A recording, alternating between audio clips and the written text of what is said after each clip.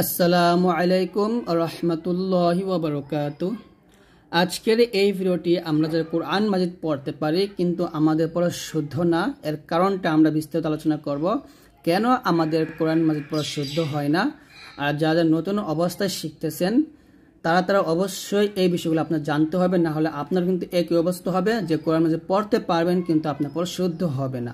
তো এই জন্য যারা যারা কোরআন মাজিদ পড়তে পারেন কিংবা নতুন অবস্থায় শিখতেছেন, তাদের জন্য আজকের ভিডিওটা খুবই গুরুত্বপূর্ণ। কারণ আমরা যারা কোরআন মাজিদ পড়তে পারি, কেন আমাদের কোরআন মাজিদ পড়া শুদ্ধ হয় না, এই বিষয়টা আমি বলে দেব এবং প্রত্যেকটা ভুল আমরা ইনশাল্লাহ শুদ্ধ করে শিখব। এবং যারা নতুন অবস্থায় কোরআন শিখতেছেন, যে বিষয়গুলো শেখান না কারণে আপনার ওপর আফসোস করতে হবে যে, আমি কেন এগুলো শিখলাম না? আমার পড়া শুদ্ধ হচ্ছে না কেন? এই আফসোসটা আপনার করতে হবে, যদি আপনি এই বিষয়গুলো ভালো করে না আয়ত্ত করতে পারেন। তো এই জন্য দুজনের জন্য আজকের এই ভিডিওটা খুবই গুরুত্বপূর্ণ। তো চলুন শুরু করি। আজকের এই ভিডিওতে আমরা আরবি হরফের মাখরাজ পরিচিতি, অর্থাৎ আমরা মাখরাজ শিখব, শুধু মাখরাজই শিখব না, প্রত্যেকটা মাখরাজ হরফ দিয়ে আমরা হরফের উচ্চারণগুলো শিখব। তো আমরা কিন্তু এই প্রত্যেকটা হরফের মানে মাখরাজগুলো আমরা শুদ্ধ করে জানি না বা শিখি না এবং কীভাবে আমরা হরকত দিয়ে কিংবা সুকুন দিয়ে বা সাকিন দিয়ে উচ্চারণটা করব, এটাও আমরা অনেকেই জানি না। আর না জানার কারণে কিন্তু আমাদের কোরআন মাজিদ পড়া শুদ্ধ না। তো এই জন্য আমি বলব অবশ্যই যারা নতুন অবস্থায় শিখেন, তারা অবশ্যই বিষয়গুলো শিখে নেবেন। আর যারা পড়তে পারেন, তারা অবশ্যই ভিডিওটা সম্পর্কে দেখবেন, তাহলে বুঝতে পারবেন আপনার পড়াটা কেন শুদ্ধ হচ্ছিল না এতদিন ধরে। তো মাখরাজ শব্দের অর্থ হচ্ছে বের হওয়ার স্থান বা উচ্চারণের স্থান। আরবি হরফের মাখরাজ বা উচ্চারণের স্থানকে মানে তো আরবি হরফ হচ্ছে উনত্রিশ, আমরা সবাই জানি, কিন্তু মাখরাজ হচ্ছে সতেরোটি। তো এই উনত্রিশটি হরফ আমরা সতেরোটা নিয়মে উচ্চারণ করি। অর্থাৎ মাখরাজ হচ্ছে যে হরফের সঠিক উচ্চারণের স্থান। আপনার প্রত্যেকটা হরফ কোন স্থান থেকে কোন জায়গা থেকে এই হামজা এবং হা কোথায় থেকে উচ্চারণ হচ্ছে, সেই উচ্চারণ স্থানকে বলা হয় মাখরাজ। অর্থাৎ আরবি হরফের উচ্চারণের স্থানকে মাখরাজ বলা হয়। হরফগুলা হলক দিয়ে শুরু হয় জিহিবা, দাঁত, তালু, ঠোঁট, এই সবগুলো দিয়ে কিন্তু আমরা প্রত্যেকটা হরফ উচ্চারণ করি। তো প্রথম মাখরাজ হচ্ছে এক নং মাখরাজটা হচ্ছে মানে হামজা এবং হচ্ছে হা।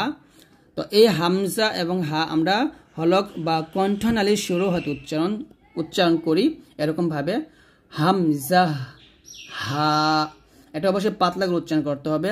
কণ্ঠনালীর শুরু হতে হামজা, হা, এরকম। হামজা, হা। তো এখানে দেখুন হামজাহ জবর আ, অর্থাৎ জবর, জের পেশা একটা হরকত। হরকত উচ্চারণ তাড়াতাড়ি পড়তে হবে, আর হলক থেকেই এই হরকতের উচ্চারণটা নিয়ে আসতে হবে। অর্থাৎ কণ্ঠনালীর শুরু হতেই এই উচ্চারণটা নিয়ে আসতে হবে, এরকমভাবে। হামজাহ জবর আ। আগে হরফটা ঠিক করেন, হরফটা হচ্ছে হামজাহ হামজাহ তাহলে উচ্চারণটা হবে হামজাহ জবর আ। হামজাহ জের ই। হামজাহ পেশ উ, আ। ই, উ এরকম। আর হাটো হবে হামজা, হা, জবর আহ। এটা হলো হা হা। এটা হচ্ছে হা এটা হা। এই দুটো হরফ কিন্তু এক না দুটো আলাদা। এই হাটা হবে কণ্ঠনালীর শিরো হতে, আর এই হাটা কণ্ঠনালীর মধ্যস্থল থেকে আমরা উচ্চারণ করব। তাহলে এটা হবে হামজা, হা, জবর আহ আহ। হামজা, হা, জের, ইহ। হামজা, হা, পেশ, উহ, আহ, ইহ। উহ, এরকম ভাবে।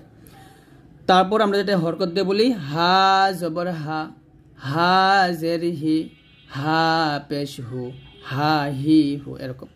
দুই নম্বর মাখাসটা হচ্ছে আইন, হা, হলক বা কণ্ঠনালীর মধ্যস্থল হইতে আমরা উচ্চারণ করব। আর এই আইন, হাট অবশ্যই চাপ দিয়ে বলব, আইনটা এরকম ভাবে বলতে হবে।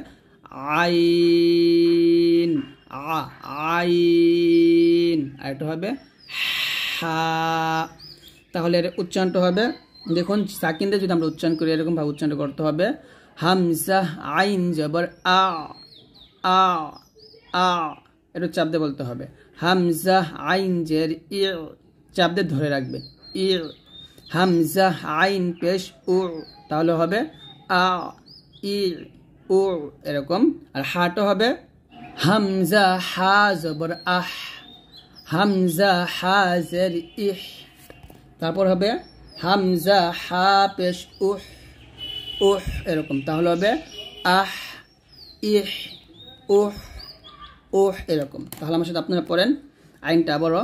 হামজা আইন জবর আ, হামজা আইন জের ই, হামজা আইন পেশ উ, আ, ই, উ, হামজা হা জবর আহ, হামজা হা জের ইহ হামজা হা পেশ উহ আহ ইহ উহ তারপর হচ্ছে তিন নম্বর মাখরাজটা হচ্ছে কণ্ঠনালীর শেষ ভাগ হতে উচ্চারিত মানে উচ্চারণ করতে হবে।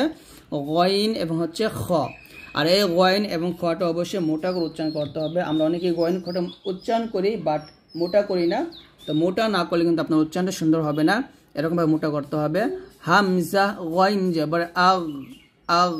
আবার অনেকে আমরা আসি আগো বলি মানে কলকলার মতো উচ্চারণ করি, তো কলকলা করা যায় বলতে হবে, হামজা গয়ন জবর আগ, হামজা গয়ন জেরি ইগ, হামজা গয়ন পেশ উগ, আগ, ইগ, উগ, এরকম। আর খট হবে, হামজা খ জবর আখ, হামজা খ জেরি ইখ, হামজা খ পেশ উখ, আখ, ইখ, উখ। তারপর হচ্ছে কফ কফটা হচ্ছে কলকলা হরফ, যখন কফের উপর সাকিন থাকবে, তখন আমরা কলকলা আদায় করে পড়ব, এটা অবশ্যই আপনি মনে রাখবেন। আর কফের মাখাসটা হচ্ছে জিহিবার গৌরা ও ওই তার বরাবর উপরে তালের সঙ্গে লাগিয়ে আমরা মোটো ও শব্দে কলকলার উচ্চারণ করব। অর্থাৎ জিহ্বার গৌরা তার বরাবর উপরের মানে ওই বরাবর উপরে তালের সঙ্গে লাগিয়ে আমরা কফটা কলকলা করব এবং মোটা করে উচ্চারণ করব, এরকম। হামজাহ কফ জবর আক আক, এরকম। হামজাহ কফ জের ইক। হামজাহ কফ, পেশ, উক, আক, ইক, উক এরকম। তারপর হচ্ছে কাফ, দেখুন কফ এবং কাফ দুইটা হরফ কিন্তু এক না, দুটি আলাদা হরফ। কফ মোটা হবে, কলকলা হবে, কাফটা চিকন হবে, যখন চিকন শব্দে উচ্চারিত হয় এবং হামস হবে। হামস মানে হচ্ছে বাতাস বের হবে। যদি কাফের উপরে সাকিন থাকে তাহলে বাতাস বের হবে। এরকমভাবে মাখাসটা হচ্ছে যে হিবার গোড়া হয়তো একটু আগে বাড়িয়ে ওই বরাবর উপরে তালুর সঙ্গে লাগিয়ে আমরা কাফটা চিকন করে বা পাতলা করে বাতাস বের উচ্চারণ করব। হামজাহ কাফ জবর আক আক।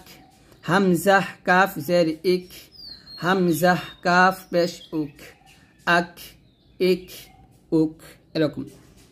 অর্থাৎ আক, এরকম বলবেন না, বলবেন আক আক, ইক, উক, এরকম পড়তে হবে।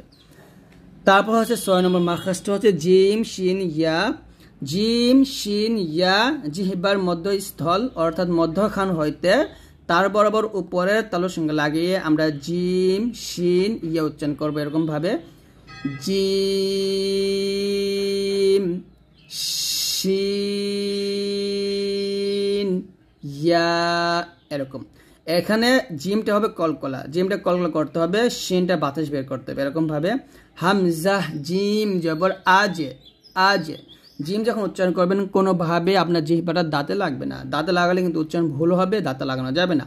হামজাহ জিম, জবর, আজ। হামজাহ জিম, জের, ইজ। হামজাহ জিম, পেশ, উজ। আজ, ইজ, উজ। এরকম শিনটা হবে। হামজাহ শিন, জবর, আশ আশ আশ, বাতাস বের করবেন।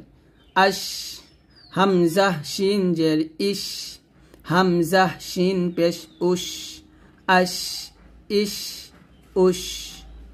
তারপর হবে হামজা, ইয়া, জবর, আই আই, জিহিবার মধ্যখান উপর তালতে লাগাবেন। আই জের পর যসমলে ইয়া আসছে, এটা মধ্য হরফ মধ্য হরফ আমরা এক লিপটেনে পড়ব, হামজা, ইয়া, জের, ই, এরকম পড়ব। আর এটা হবে হামজা, ইয়া, পেশ, উই, এরকম। তারপর হচ্ছে আমাদের দদ। দদ দেখুন এটা খুবই ভুল করি আমরা অনেকেই। মানে দদ আমরা কলকল করে ফেলি বা দালের মতো উচ্চারণ করি। তো দালের মতো দদ উচ্চারণ করা যাবে না। মাখাসটা খেয়াল করুন জিহিবার গোড়ার কিনারা, তার বরাবর উপরের মারি দাঁতের গোড়ার সাথে লাগিয়ে দদ মোটা উচ্চারণ করতে হবে। কলকলা করা যাবে না। আমরা অনেকেই হামজা দ যেবার আদ, ইদ, উদ, এরকমভাবে উচ্চারণ করি। এটা ভুল উচ্চারণ, করতে হবে এরকম।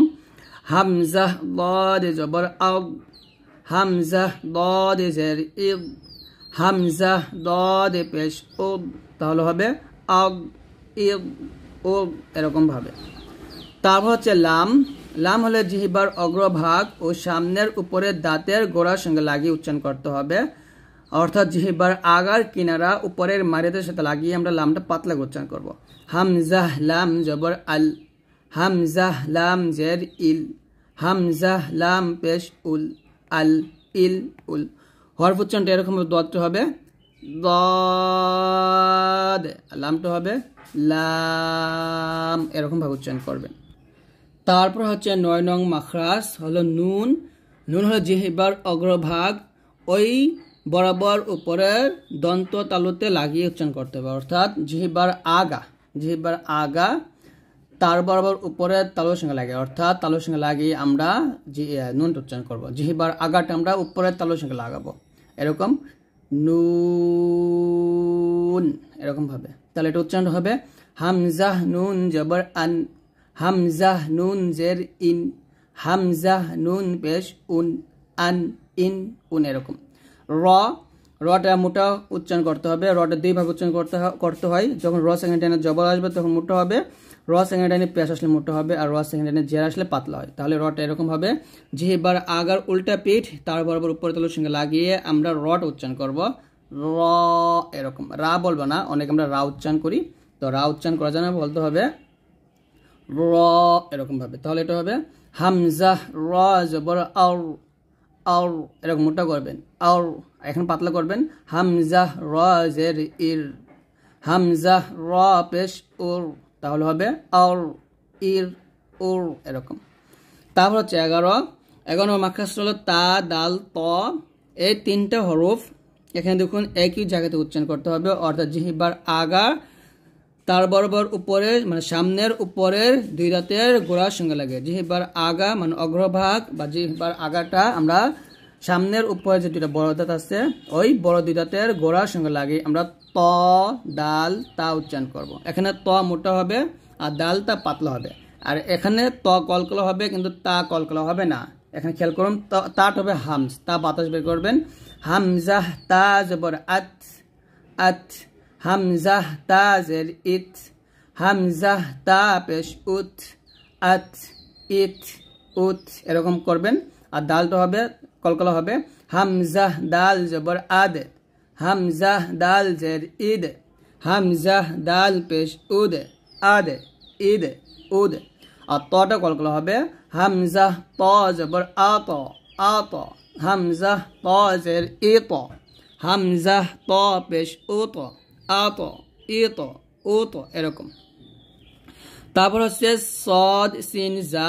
জিহ্বার আগা, সামনে, নিচের দুই দাঁতের মাঝে লাগিয়ে আমরা সদ, সিন, যা উচ্চারণ করব। এখানে সদ, সিন দুইটা হামসের হরফ, কিন্তু যা হামসের হরফ না। আবার সদ, সিন, যা তিনটে, কিন্তু এখানে সফির। সফির মানে হচ্ছে তিনটে হরফ উচ্চারণ করার সময় আমরা একটা আওয়াজ বা একটা শব্দ বের করে উচ্চারণ করব। আর তার মধ্যে সদ হবে মোটো হরফ, আর সিন, যা পাতলা করে উচ্চারণ করতে হবে। এরকম ভাবে হামজা, যা, জবর, আজ। হামজা, যা, জের, ইজ। হামজা, যা, পেশ, উজ। আজ, ইজ। উজ সিনটা হবে। হামজা, সিন, জবর, আস, পাতলা করে। আস, বাতাস বের করবেন। হামজা, সিন, জের, ইস। হামজা, সিন, পেশ, উস। আস, ইস, উস। আর সদ মোটা করতে হবে। হামজা, সদ, জবর, আস আস। দেখুন, এটা হচ্ছে আস। আর এটা আস। এটাকে যখন উচ্চারণ করব মুখটা ভরে যাবে। আস। হামজা, সদ, জের, ইস। হামজা, সদ, পেশ, উস আস ইস, উস এরকম। তারপর হচ্ছে আল ওয়া এই তিনটা মাখরাস হচ্ছে জিহবার আগা সামনের উপরে দ্বিতীয় আগার সঙ্গে লাগিয়ে সাদ আল ওয়াট উচ্চারণ করবেন। তার মধ্যে সাটা পাত বাতাস বের হবে আর জাল ও বাতাস বের হবে না। তবে এখানে জাল পাতলা হবে, জ মোটা হবে। এই যে পার্থক্যগুলো, এগুলো বুঝতে হবে আপনাকে। তাহলে এটা হবে সা, এটা জাল। পাতলা করে এটা হবে র যেটা মাখরাজ যদিও এক সিফাতগুলো আলাদা, অর্থাৎ প্রত্যেকটা গুণ কিন্তু আলাদা। তাহলে এটা হবে হামজা সা আস, হামজা সা জের ইস, হামজা সা পেশ উস, আস ইস উস।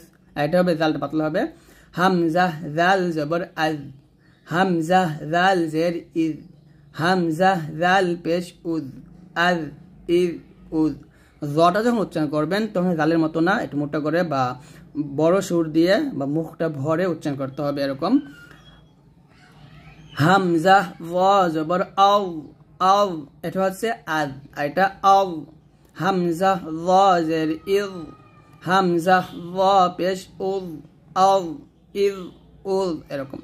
তারপর হচ্ছে ফা ফাটা নিচে ঠোঁটের পেট নিচে ঠোঁটের পেট সাম মানে নিচে ঠোঁটের পেট, উপর যে দুটো দাঁত আছে, উপর দুই দাঁত, নিচে ঠোঁটের মাঝখানে লাগিয়ে আমরা ফাট উচ্চারণ করব।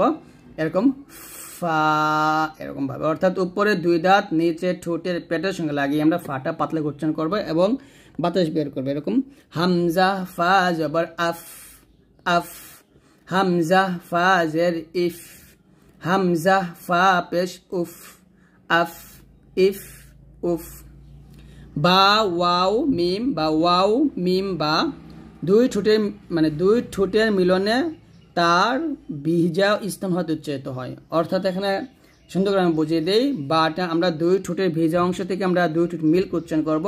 মিমটা দুই ঠোঁট মিল হবে, তবে শুকনো অংশে মিল করে উচ্চারণ করব, আর ওয়াওটা দুই ঠোঁটের মাঝে ফাঁকা থাকবে, মিলবে না। দুই ঠোঁটে ফাঁকা থাকে মানে ফাঁকা রেখে আমরা উচ্চারণ করব, এরকম। আর বাটা এখানে কলকলা কলকলা করতে হবে। হামজাহ বা জবর আবে। এরকম। হামজাহ বা জের ইবে হামজাহ বা পেশ উবে, আবে, ইবে, উবে। মিমটা হবে হামজাহ মিম জবর আম হামজাহ মিম জের ইম হামজাহ মিম পেশ উম, আম, ইম, উম। আর ওয়াওটা হবে হামজাহ ওয়াও জবর আউ হামজাহ ওয়াউ জের ইউ, ঠোঁট গোলো হয়ে যাবে। আচ্ছা পেশের পর আমরা আসবে, এটা মধ্য হবে। আমরা যা শুনে বা মাখাসে দেখব। তো এটা মধর পড়বেন একটা টান দিবেন ওয়া ও পেশ উ, এরকম। তারপর ষোলো নম্বর মাখাসটা হচ্ছে, মুখ ভরে বা মুখ থেকে মুখের খালি জায়গা হইতে আমরা এই মধর পর্ব বাবু বি, মুখ ভরে হবে না, হবে মুখের খালি জায়গা হতে উচ্চারিত হয়। মুখের খালি জায়গা হইতে মধহরফ পড়া যায়। মধহরফ তিনটা আলিফ ওয়া উইয়া জবর পর খালি আলিফ, বেশের পর জজমালা, ওয়াও। জের পর জজমালা, ইয়া আসলে মানে এক আলিফ পরিমাণ টেনে পড়তে হবে। বাবু বি, এরকম। সতেরো নং মাখাসটা হচ্ছে যদি নুনে অথবা মিমে তাসদিদ থাকে তাসদিদ যুক্ত মিম ও নুন, নাকের বাসি বা খাই সুম হতে গুন্নার সাথে উচ্চারিত হয়। অর্থাৎ নাকের বাসি থেকে আমরা গুন্না আদায় করব। এরকম, আন্না, ইন্না, উন্না। আর মিমেরটা হবে দুটি মিল করে, আম্মা, ইম্মা, উম্মা। তো এরকমভাবে আপনারা এই প্রত্যেকটা হরফ উচ্চারণ করবেন ইনশাল্লাহ যদি এরকমভাবে আপনার প্রত্যেকটা হরফ মাখাস থেকে সিফাত বুঝে বুঝে কোনটা পাতলা, কোনটা মোটা হবে, এই প্রত্যেকটা বিষয়ে বুঝে যদি উচ্চারণ করতে পারেন, তাহলে আপনার কোরআন পড়া ইনশাল্লাহ সহি শুদ্ধ হবে। তো আজকের এই ভিডিওটি এই পর্যন্ত। যদি ভিডিওটি ভালো লাগে, অবশ্যই লাইক দিয়ে দিন, আর অবশ্যই আমাদের এই ভিডিওগুলো সবার কাছে ইনশাল্লাহ শেয়ার করে দিন।